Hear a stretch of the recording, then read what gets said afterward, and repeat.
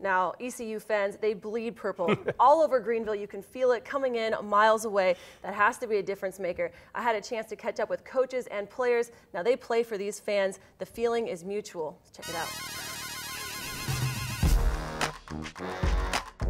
Greenville, North Carolina is Pirate Nation. Not for a game, not for a season, but for a lifetime. We are. We're pirates. I mean, this is Greenville. This is the best southeastern city out there. I mean, you know, I have been to so many college and professional football games.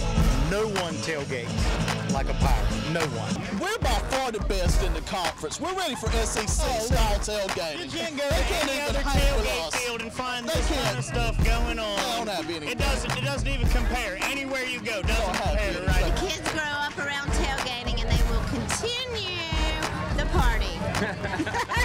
good atmosphere, family fun. You know, everybody has a good time and invite each other together.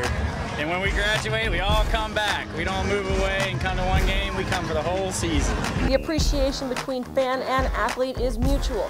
One would not survive without the other. I mean, there's really nothing like it. Uh, this is a crazy, crazy atmosphere. You drive in from the bus and you see tailgaters starting from like six miles away. Everyone's hooting and hollering as you're coming in, crazy. I mean, it's just it's, it's so much fun to play out there and hear them just screaming your name. And, you know, the coop call. It's just everything. Just the stadium's great. The atmosphere's great. The fans are awesome. You, you drive down, we're driving our buses, and we like to, you know, when we come in on the buses, we see guys out tailgating, you know, they, they're clapping and cheering and stomping and going crazy. And you see the, the oldest, you see some 80 year old ladies out there just totally, oh, they're just all about the Pirates, man, and, and, and we, we do nothing but appreciate it. You know, you come to Greenville and it's just an abundance of fans. I can go anywhere with an ECU volleyball shirt on and just everyone wants to know who you are and if you play for the team.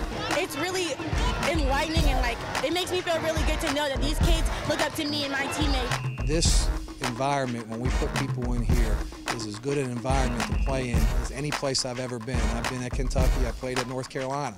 Uh, so it's a real fun environment. Our kids uh, love to play when the crowd is here. It's they're right on top of you. I love Florida so much. I would call this my home. But this has been this has been a great great place for me. I love it. Atmosphere is crazy down here. You know, everybody shows support for the teams and just the passion and the pride that we have down here is amazing. So, you know, Pirates. Arr.